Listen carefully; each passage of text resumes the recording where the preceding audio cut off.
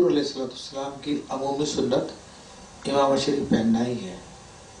اور خود سرکار دو عالم صلی اللہ علیہ وسلم نے اس کی بڑی ترغیب بھی دلائی۔ ہے اس کا بڑا ثواب بھی بیان کیا کہ وہ نماز جو عوامہ پڑھ کے پڑھی جائے پہن کے پڑھی جاتی ہے تو اس کا ثواب ستر گنا بڑھ جاتا ہے دوسری نماز کے مقابلے میں جو بغیر امامے کے پڑھی گئی ہے۔ اور حضور علیہ السلط السلام کی یہ سنت دائمہ متواترہ ہے۔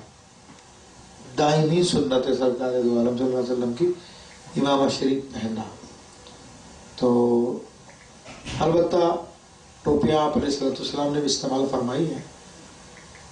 بعض جیسے علامہ ابن جوزی رحمۃ اللہ تعالیٰ علیہ نے آقا علیہ صلاحت السلام کی مختلف اسٹائل کی ٹوپیاں بیان فرمائی۔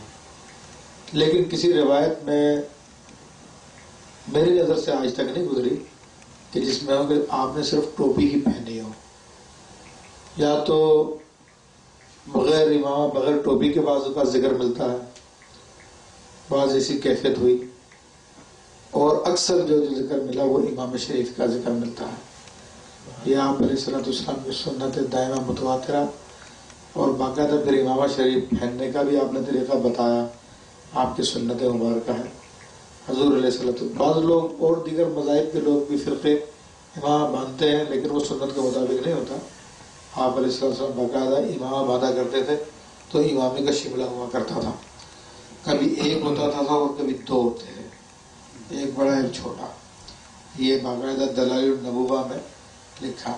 اور آپ نے ایسا امامہ پہننے سے منع کیا جس میں شملہ نہیں ہوتا۔ آپ نے منع فرمایا۔ تو اس کے بڑے آداب ہیں، بڑی تفصیل ہے۔